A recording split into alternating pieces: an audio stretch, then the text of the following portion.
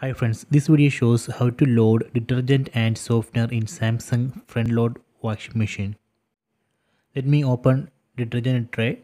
Here we can see three boxes for pre-wash, main wash and softener.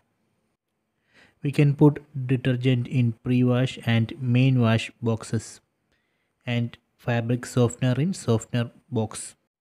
Let me put detergent in pre-wash box for now I am not going to fill main wash and softener boxes. Let me close the detergent tray.